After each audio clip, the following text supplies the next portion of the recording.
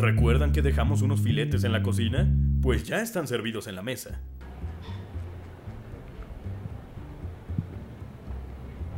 Aquí lo interesante es la combinación del pescado con la jaiba, el pulpo y el camarón.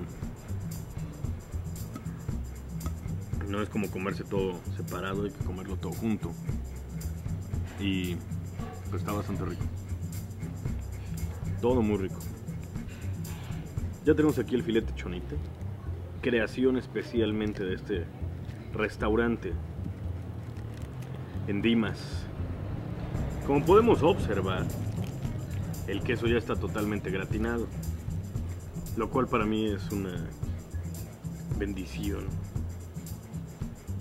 Porque ya saben que el queso es mi debilidad, mi kriptonita.